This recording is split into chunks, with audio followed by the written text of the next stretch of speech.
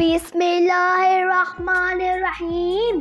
मेरे प्यारे व्यूवर्स आज हम बनाएँगे चिकन टिक्का वेजिटेबल चाउमीन्स जो बहुत यमी और बहुत डिलीशियस बनती हैं।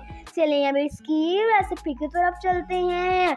लेकिन उससे पहले जो लोग हमारे चैनल पर नए हैं, हमारे चैनल को सब्सक्राइब करना बिल्कुल भी मत भूलिएगा। मेरे प्यारे व्यूवर्स इस रेसिपी को हम देसी सेवियों से बनाएँगे, जिसको खाने के बाद आप मैक्रोनी और स्पैगेटीज को बिल्कुल भूल जाएँगे। 250 ग्राम बोनस चिकन के अंदर हम टू टेबल स्पून विनेगर शामिल करेंगे।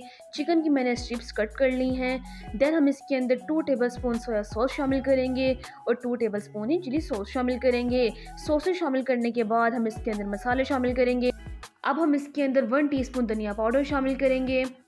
टेस्ट के अकॉर्डिंग हम इसके अंदर नमक शामिल कर देंगे। मैं यहाँ पर इसके अंदर वन टीस्पून नमक शामिल कर रही हूँ। अब हम इसके अंदर हाफ़ टी स्पून हल्दी शामिल करेंगे और हाफ़ टी स्पून हम इसके अंदर लाल मिर्च का पाउडर शामिल करेंगे। देन तमाम मसाले शामिल करने के बाद हम इसको अच्छी तरीके से मिक्स करेंगे। चिकन की मैरिनेशन करने के बाद हम इसको स्टे देंगे। यहाँ पर दोस्तों मेरे पास 500 ग्राम मोटी सेवियाँ हैं। वेजिटेबल्स में मेरे पास यहाँ पर एक कटी हुई शिमला मिर्च है। एक दरमियाने साइज़ की गाजर है जिसको मैंने ग्रेट कर लिया है और साथ साथ मेरे पास थोड़ी सी बंद गोभी है। यहाँ पर हम तमाम वेजिटेबल्स की क्वांटिटी अपने हिसाब से लेंगे। एक घंटे के बाद हमारा चिकन मैरिनेट हो चुका है। तमाम मसाले सोसेज में अच्छे तरीके से मिक्स हो चुकी हैं। यहाँ पर हम पैन लेंगे, इसके अंदर हम वन टेबल स्पून घी शामिल करेंगे। घी शामिल करने के बाद हम इसके अंदर वेजिटेबल्स को सोते करेंगे। सबसे पहले हम इसके अंदर बंद गोभी शामिल करेंगे। बंद गोभी शामिल करने के बाद हम इसके अंदर कैप्सिकम शामिल करेंगे। कैप्सिकम शामिल करने के बाद हम इसके अंदर कैरेट शामिल करेंगे। इन तीनों चीज़ों को शामिल करने के बाद हम इसको दो से तीन मिनट के लिए सोते करेंगे। अब हम एक कढ़ाई लेंगे, इसके अंदर हम हाफ़ प्याली घी शामिल करेंगे।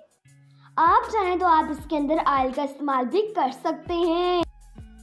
घी शामिल करने के बाद हम इसके अंदर वन टेबल स्पून अदरक लहसुन का पेस्ट शामिल कर देंगे। इसको ज़्यादा ब्राउन हमने नहीं करना है, इसको हमने नॉर्मल सा सोते करना है, एक से दो मिनट के लिए। जब ये हल्का सा सोते हो जाए तो हम इसके अंदर मैरिनेट किया हुआ चिकन शामिल कर देंगे।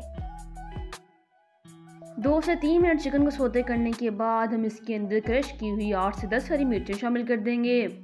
अगर आप कम स्पाइस लवर हैं तो आप इसके अंदर हरी मिर्चों की क्वांटिटी कम भी कर सकते हैं। अब हम इसके अंदर हाफ़ टी स्पून हल्दी शामिल करेंगे। टेस्ट के अकॉर्डिंग नमक शामिल करेंगे। हाफ़ टी स्पून गर्म मसाला शामिल करेंगे देन इन तमाम चीज़ों को हम अच्छी तरीके से मिक्स कर लेंगे। तीन से चार मिनट बुनाई करने के बाद हम इसके अंदर दो गिलास पानी शामिल कर देंगे। अब हम अपने पानी को बॉयल करवाएँगे जब हमारे पानी को बॉयल आ जाए तो हम इसके अंदर सवैया शामिल कर देंगे। दोस्तों आपने सवैयों को ठंडे पानी में शामिल नहीं करना। वरना ये आपस में जुड़ जाएँगी। जब हमारी सवैयाँ 50 परसेंट तक कुक हो जाएँ तो हम इसके अंदर वेजिटेबल शामिल कर देंगे जिसको हमने घी के साथ सोते किया था। यहाँ पर दोस्तों मेरे पास अनियन मिस हो गया था देन इसको मैं यहाँ पर शामिल कर रही हूँ। सवैयों को पकने में ज़्यादा देर नहीं लगती इसलिए आपने इसके अंदर ज़्यादा पानी शामिल नहीं करना। आपने उतना ही पानी शामिल करना है जिसके अंदर हमारी सेवैयाँ डिप हो जाएँ। यहाँ पर दोस्तों वेजिटेबल शामिल करने के बाद हम इसको मिक्स कर लेंगे। अब हम इसके अंदर चिकन पाउडर शामिल कर देंगे। अब हम इसको मिक्स कर लेंगे। अब हमारी सेवैयाँ दम लगाने के लिए बिल्कुल तैयार हैं। हम इसको तवे पर दम लगाएँगे से नीचे नहीं लगती। अब हम इसके ऊपर हैवी मैश रख देंगे। तीन से चार मिनट के अंदर हमारी सेवियाँ रेडी हो जाएँगी।